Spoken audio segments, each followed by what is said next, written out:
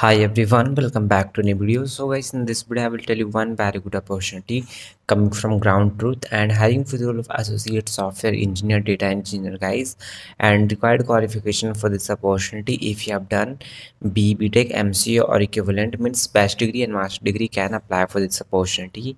And batches guys below 2024 batches can apply for this opportunity means 90, 20, 21, 22, 23 and 24 batches can apply for this opportunity.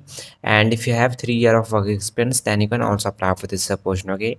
And branches guys computer science and surgical related branches can apply for this opportunity. And here some skills they have mentioned so don't forget to make changes on your resume. So chances will be high for shortage and I will simply apply for this opportunity and job location guys. Gurugram or remote means work from home okay? So before applying check all these things. Will simply apply for this opportunity. So how you can apply for this opportunity guys?